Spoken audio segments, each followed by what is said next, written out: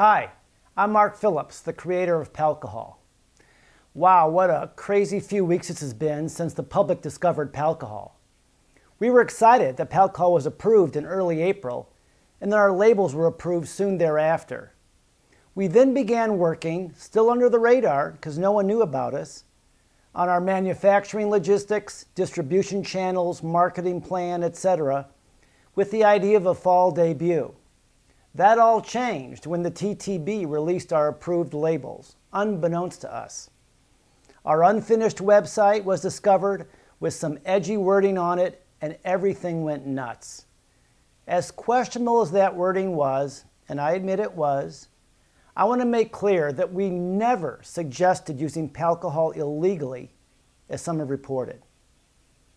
Because we weren't prepared with the proper message about Palcohol, people imagined how it would be used. It was reported that powdered alcohol will make it easier to get drunk by snorting it, that it will make it easier to sneak alcohol into places, easier to spike someone's drink, and easier for kids to get a hold of it. All of those statements couldn't be further from the truth.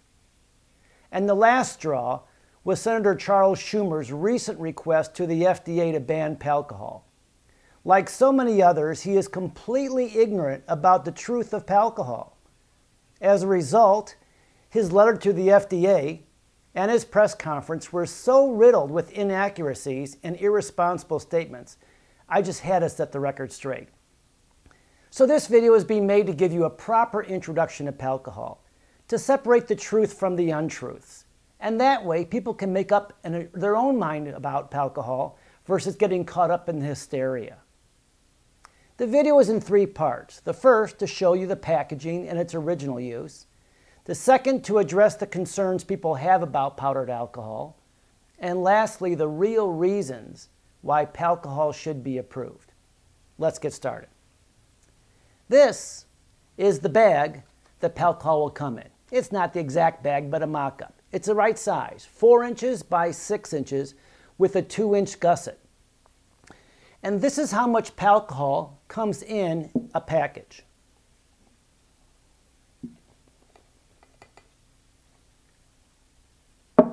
One package of Palcohol. This happens to be powdered vodka. And this is a shot of vodka. These are equal amounts of alcohol. Palcohol is not some super concentrated version of alcohol. It's simply one shot of alcohol in powdered form. Let me tell you why I chose the bag. So when I hike, kayak, backpack, whatever, I like to have a drink when I reach my destination. Carrying liquid alcohol and mixers and bottles to make a margarita, for instance, was totally impractical. So I created Palcohol, which is so light and easy to pack. And of course, the story of how I created Palcohol, I'm going to save for another video. I have to save something for some other video. So when I realized I had Palcohol and that it would be perfect for hiking and backpacking, I knew I can't add the alcohol to the bottle of water because if I do, I'll have no more plain water to drink. So I had to add the liquid to the powder. I didn't want to carry a cup or a glass with me because then I'm adding weight and bulk again. So I design the bag so it becomes the glass. So that's I'm going to grab this one over here because in this bag right now, I have uh, the Cosmopolitan version of Palcohol. So I'll show you how it works. All I do is pour about five ounces of water in there. Check. Then you zip the bag closed tightly and then shake and it takes about 30 seconds for the powder to dissolve. The colder the water is, the longer it takes to dissolve. Let's see how it looks.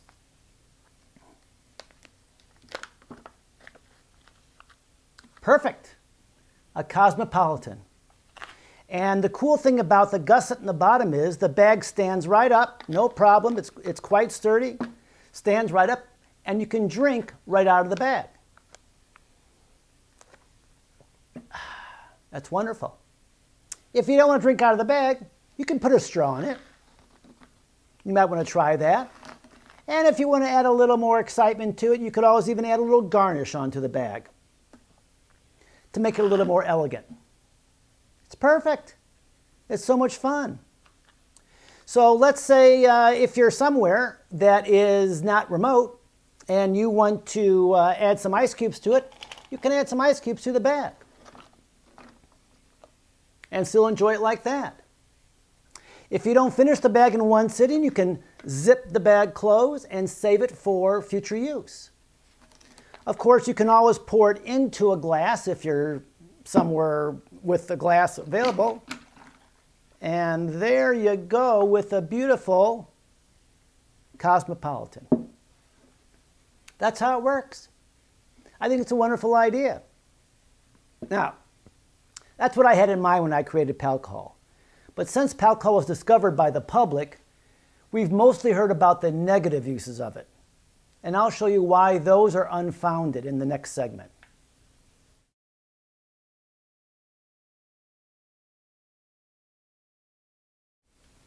It is unfortunate that most of the media coverage has been about the imagined negative uses of powdered alcohol.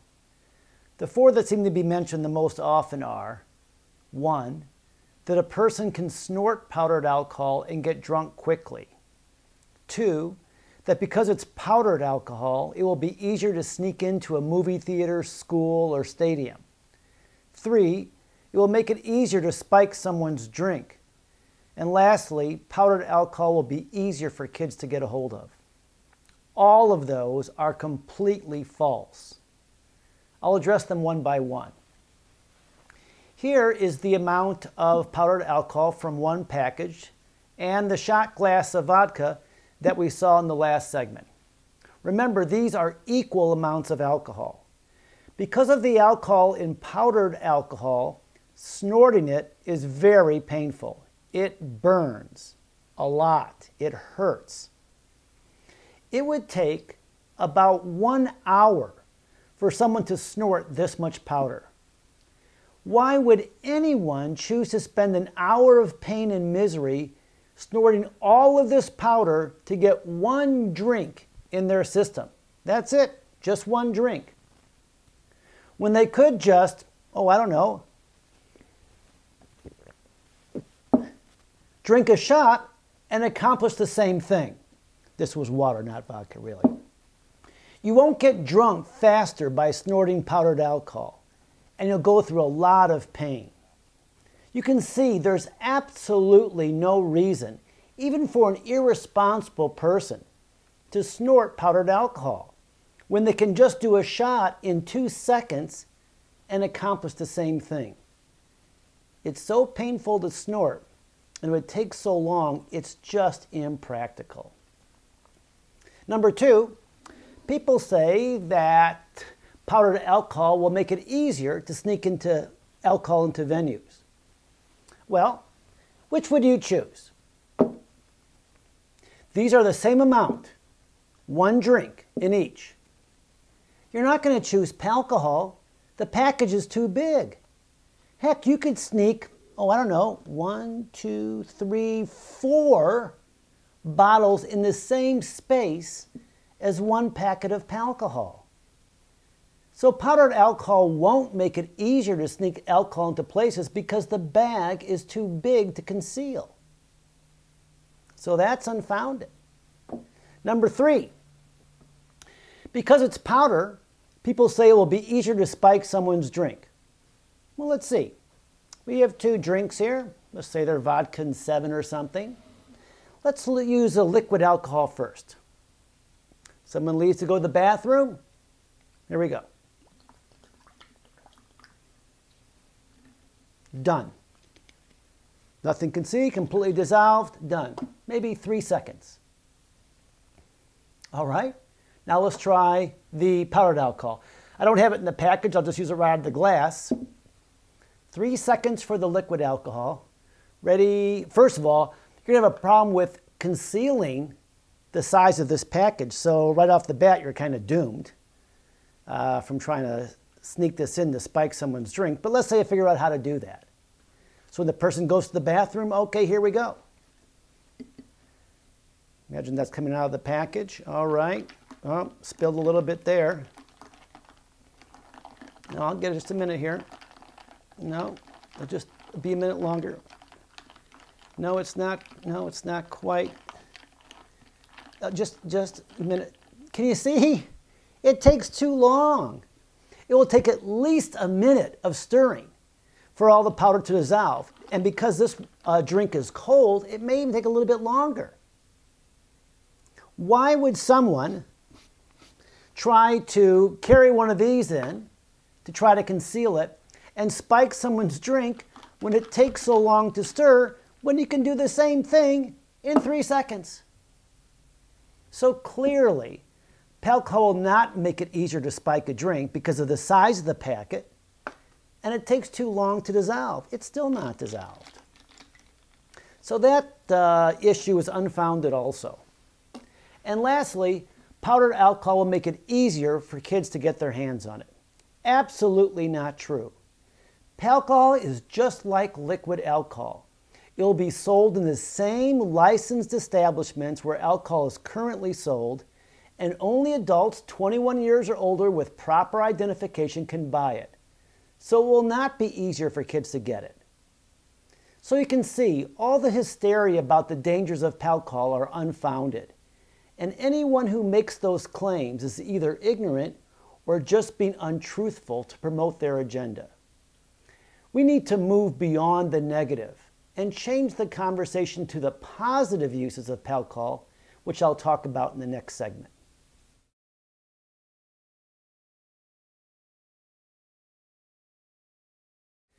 Palcohol is really a revolutionary product that has so many positive uses, both for consumers and businesses. Once people were made aware of the existence of Palcohol, we were contacted by lots of folks suggesting a variety of uses. Because of that, we'll be making two formulations a beverage formulation that is ingestible and an industrial formulation that is not ingestible. Each are licensed and sold differently. With regards to the beverage formulation, the original Palcohol, Gary was the first one to contact us. He's a frequent traveler and was excited that he could now transport Palcohol without the weight of liquid alcohol in bottles and without the fear of bottles breaking in his suitcase. A hotel in Hawaii is interested in powdered alcohol to save on the exorbitant shipping costs for liquid alcohol sent from the States. Palcohol is at least one third of the weight of shipping liquid alcohol. A person in the airline industry expressed interest in serving Palcohol in planes versus liquid alcohol because the lighter weight of Palcohol could save the airlines millions of dollars a year in fuel costs, which may mean they'll lower the ticket prices for us, uh, but I don't know about that. The industrial formulation has many uses also. Two companies, one from Sweden and one from Canada, contacted us on the same day. What a coincidence. They're both interested in using powdered alcohol in their windshield wiper fluid. Several people have inquired about using Palcohol as an emergency fuel. Carry a spare pouch in your car. Lightweight fuel for military transports, or even a fuel source in a soldier's backpack. We've had doctors and nurses contact us about using Palcohol as an antiseptic. Whether it's shipping an antiseptic after a natural disaster or providing treatment to hundreds of millions of people in remote locations, where weight is a constraint of sending traditional medical supplies in. Because it's lightweight, Palcohol could really make a difference. And that's just a few uses. And the tip of the iceberg of possibly many more positive, money saving, maybe life saving applications for powdered alcohol. Not to mention the environmental benefit.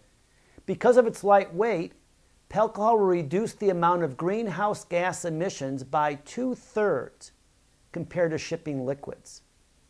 Wow. Why would anyone want to ban powdered alcohol with all of the benefits to society? Why would anyone want to enact prohibition like measures to, to take away our rights to enjoy this wonderful product in a responsible and legal manner. Why would anyone want to ban a product that can reduce our greenhouse gas emissions?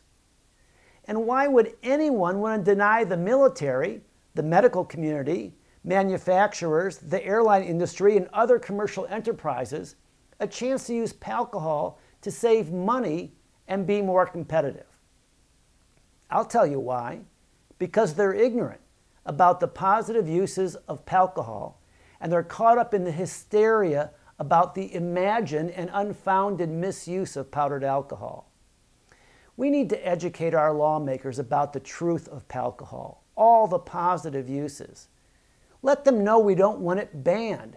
We want it approved, taxed, regulated, just like liquid alcohol. We need your help, and we need your help now. Several states are already moving to ban Palcohol, along with Senator Schumer's request for the FDA to ban it. Please contact your state and federal lawmakers to let them know you support Palcohol. Send them a link to this video so they can make an informed decision. We need to act now before ignorance determines our future. Thanks for your support, and thanks for watching.